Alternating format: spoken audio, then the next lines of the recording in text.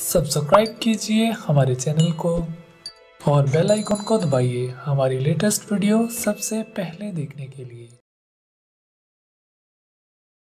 Hi I am Gaurav and this is my daughter Riya we are resident of South City one only and we got to know about doctor Manish because since we stay here so you know is popular here and my daughter had a swelling and we came here and you know, she was diagnosed with uh, something called pre-auricular sinus, which is uh, by birth and Dr. Manish had diagnosed it and suggested us a surgery, which has to be done sometime, you know, because it's better for the future life.